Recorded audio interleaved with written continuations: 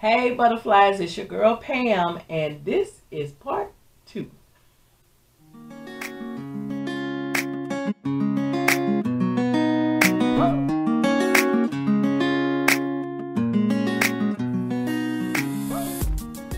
All right, butterflies, this is my self reflection, um, self quarantine, social distancing.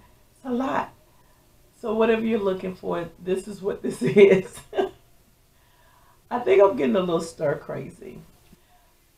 On my last video, I ended up asking three of my friends and then my three daughters um, to provide me with five words, positive words that they thought of when they thought of me, and then three things that they felt that might be challenges that I needed to work on while I was taking the next week off from work. So, um, I told you guys that I would go ahead and um, list. Um, I won't tell you who said what, but I'll say some of the words. I will tell you one of my daughters is an overachiever, and Although I asked for five, she gave me many more. And although she didn't follow directions, I think the mommy in me needed to know that it was more than five. So, um, thank you to her. I'm not going to tell you which child. Uh, and even one of my friends was like, I had more, but that's you're atypical. I promise you, I gave you the directions. I knew you were going to follow them. So, you know, I wasn't upset about that. So let's jump in. So some of the words that came up will be duplicates. So, you know, just know that. Um, I'm going to read them in no particular order, but these are the positives, and then I'll go back and read the things that I need to kind of work on. Okay? So the positives are determined, caring, loving, confident YouTuber. Um, let's see, provider, reliable, amazing mom, great listener, great advisor, funny, strong, selfless, caring, helpful, gorgeous, fun to be around, determined, wise, encouraging, independent, supportive, honest, ambitious, hardworking, thorough, creative, compassionate, reliable, brave, generous, and organized. All right, so that's, I will tell you guys, that's from my kids. This is from my friends. Positive, compassionate, ambitious, empathetic, frank, in parentheses, tell it like it is, reliable, and awesome. Kind, loving, loyal, positive, and beautiful. And lastly, loving, caring, great mother, careful. I had to get more clarification on that one, and, and they did give it to me. And an influencer, and she was talking about YouTube. Um, all right, so let's start with my friends with the things that I need to work on, and then we'll go back to what the girls said. So the my challenges that they see work harder, uh, being diligent, Work harder until the job is done. Uh, finish what you start. Now I can tell you exactly what she's talking about with this. This doggone weight. this doggone weight. Yes, me and this person have gone through hell and high water to get this weight off, and it has been a challenge. So, um, putting Pam first. Get out of the house and do Pam and maybe meet someone, a man, get back into church. God bless you with a beautiful voice. Use it to glorify God and let others hear it. I know you have had a bad experience, but now it's time to let it go. Hope this helps. All right, so the next person said, uh, work on letting go when it is when it's needed and start thinking about Pam. So lastly of my friends, overthinking, which is so true for me. Um, trying to read the underlining message. There's not always a hidden message. And then self-sabotage. So, got a little work to do. All right, this is from my kids. Temper. I'm a Taurus, the bull. Yes. Attitude and tone. Now, could y'all think about me? Me? Me? Me? Yeah, it's me. um,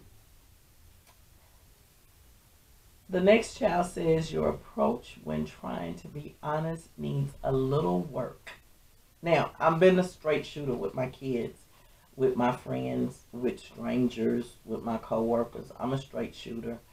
Um, but maybe it, uh, you know, and I try to be tactful, but maybe I need to get a little polish on it. So, um, be open to other people's feelings, even if it hurts yours. Yeah, I'm a, I don't, I, I'm not even sure how to take that. Um, I'm not taking it in a negative way. I don't, I guess she's saying honor somebody else's feelings while I'm still true to mine. So that might take some work. Um, I never impose my feelings on somebody else as far as trying to make you change your mind. I sow seed, and if you get it, then you do. If you don't, then you don't. Maybe it wasn't the time, was it? Maybe it wasn't meant for you. I don't know, but um, I'll have to dig a little deeper and maybe talk to that particular child about that and hitting below the belt. Um, I'm an only child that's a Taurus, the bull. No excuses. I'm just letting you know, you know, I had to fend for myself. So if you came for me, yeah, I'm going for the jugular. So she's right. She's right. And maybe the jugular is not always, maybe that should be maybe the third resort. Maybe not the first one. So I'll work on that. Um, then lastly, um, this particular daughter said, sometimes we just need an ear for someone to listen, not always the feedback. Now, this is true. I have gotten better, and I don't think she gave me credit for me getting better, but it's okay. I have gotten better but I'm a fixer. I'm a single mom that didn't have anybody else to depend on except for God. Um, and my mom when she was alive. But for the majority of the time, I've rode this pony solo, trying to make sure that my kids were taken care of and protected and provided for. And so I didn't have a lot of time to sugarcoat stuff. I just didn't. So if you tell me, if you come to me, um, I'm not saying that I still don't do it, but I don't do it as much. But if you brought something to me, I just assumed you were bringing it to me for me to fix it. And she's saying, no, sometimes I just need to vent. So that duly noted. I'm going to have to work on that. Um, if you're mad at one child, don't take it out on the other two. It's not fair. So this probably stemmed from um, probably about they're 25 four, probably about six years ago. Um, maybe longer. Kiana um, had a very hard time. You have to realize that my family is very touchy, touchy, feely, feely. We hug, we kiss, we say I love you before we get off the phone. Even when we're mad, we might mumble, love you, love you too. but we still say it. Um, so for a period of time when Kiana had not been correctly diagnosed, she did not like me to touch her. I was her caregiver. And if I stood literally right here and she was right here, she would move, just move. And it would break my heart. It would literally break my heart. If I brushed up against her, she would jump across the room so I wouldn't touch her.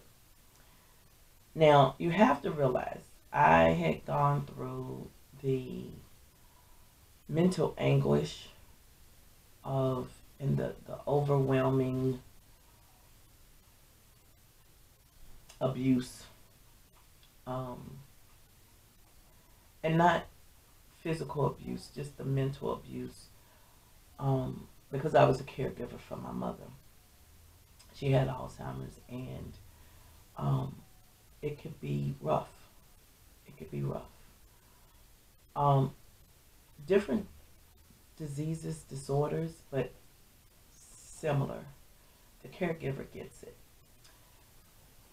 So, my childhood mess that I've got to clean up has a lot to do with rejection and abandonment.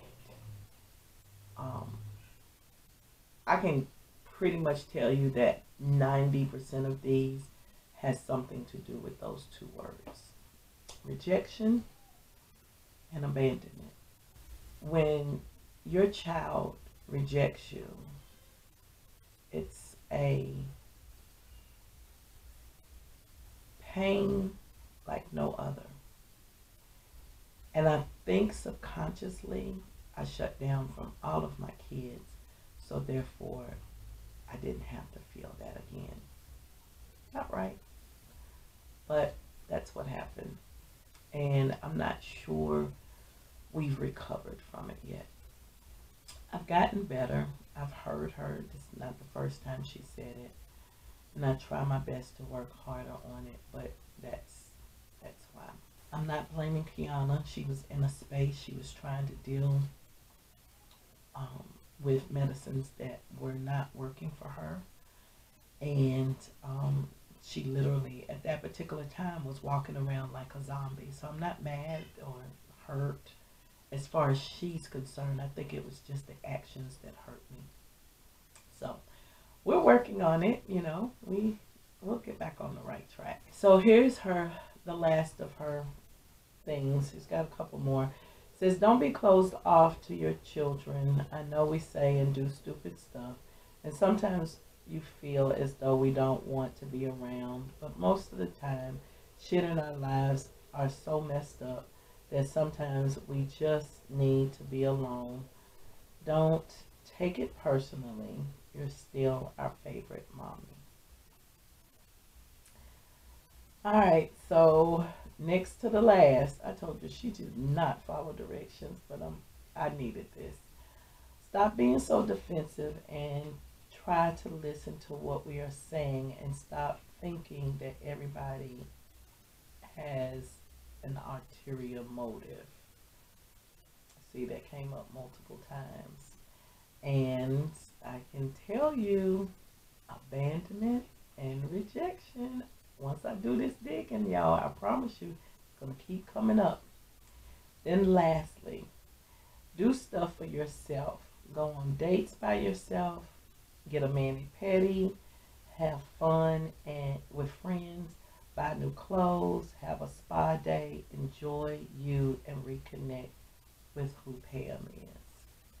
Wow. So there you have it, guys. That's part two. Um, in the comments, tell me some of the things that you feel like you would hear your friends say that's positive about you. And then also, down there, also tell me what you think they may say some of your challenges are. So just hit me with one or two. Um, I would love to hear from you guys. So I am now getting ready to go do my post-it notes and put them around my desk and put them around my mirror. I was looking at my desk. right over here by my desk, so that's where I was looking. So I just wanted you guys to, um, yeah, just do some self-reflecting. Enjoy your, um, your family. Um, pray a little more. Meditate. Wash your hands. Breathe. Breathe. Just breathe. We're going to get through this, y'all. I promise you. A peaky promise on Nana's grave. We're going to get through this. I promise you. It looks a little scary out there. And I think in some form or fashion, we're all scared. I was looking at one of the newscasters um, that got it. I think he's on CNN, and I could tell by his picture. It was like he was trying to be as encouraging as possible. He had lost 13 pounds in three days. Y'all do not take this lightly. Please do not take this lightly. Just stay inside. Just stay inside as much as you can. And sometimes you can't leave, but if you can, just stay inside. All right. I love you, butterflies, so much. Make sure you subscribe. Make sure you hit the like button. Share this with someone if you think it'll benefit them. And until next time, love you, butterflies.